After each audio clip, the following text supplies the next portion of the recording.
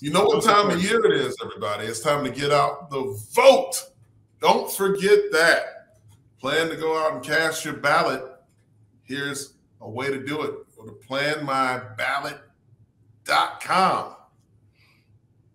Otis? Yeah, I think, you know, straight, I mean, we talk about the importance, right? Is not just showing up, it's educating yourselves. And me, myself, I'm taking into obviously my own values of practicing is like knowing your ballot. So when you show up, you're not just like in testing where you're just, oh, I'm a hope and wish something happens and I'm just Scantron, just filling out so I can get it out and do my duty.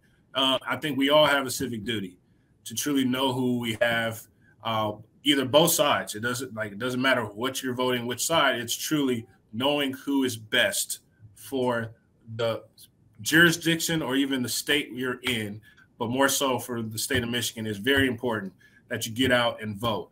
Um, and so obviously this is not just hey how you do it it shows you your locations as well. So you know look at where your nearest location to your residence is so that you can go or where you're registered at.